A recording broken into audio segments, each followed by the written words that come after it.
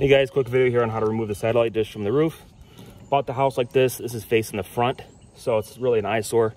Didn't want to worry about it, so I'm taking it apart. 13 millimeter bolts right here to the base. There's two on each side.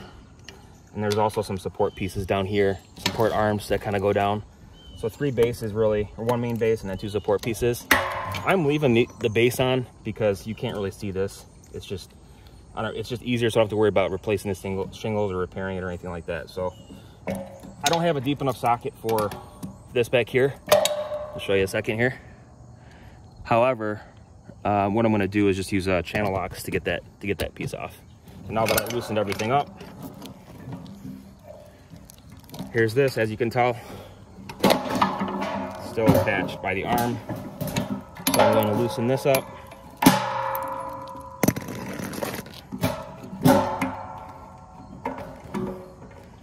Hand it's just hand tight right now. I just use some channel locks to remove it.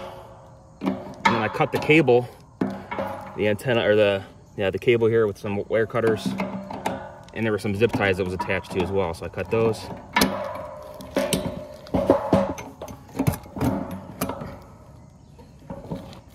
I'm have to wiggle this around a little bit.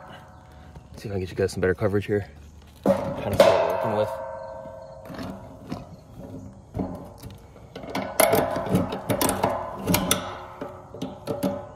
It's pretty heavy and it's just awkward, so it's kind of hard to maneuver around and do all this at the same time, but I'm just loosening the bolt here.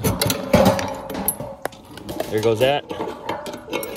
Wasn't the prettiest way of doing it, but you're on a roof, I'm trying to record, and that's what I have so now, as you can see,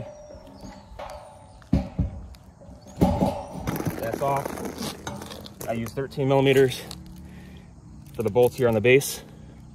And then I use channel locks for the support pieces here. And then I cut uh, wire cutters to cut the cable and the zip ties. Just like these. So that's about it. I'm gonna leave the base, like I said, I'm not worried about, about this showing but here's what I have left over. You can see the arm attachments. I'm just gonna leave those, swing those down so they can't be seen. And I'm just gonna throw this thing overboard before I go down. That's it guys, thanks for watching.